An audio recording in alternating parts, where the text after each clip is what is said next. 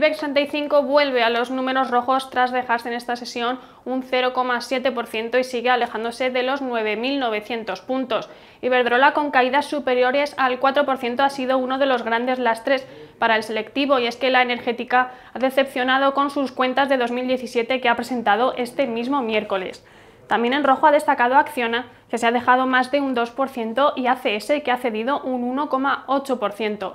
En verde, pocos valores, con Melia Hotels a la cabeza con subidas del 2,6%. También en verde, Bankia sube un 1,2% y Enagas sube un 0,8% animada porque Deutsche Bank le ha otorgado un potencial del 13% a sus acciones.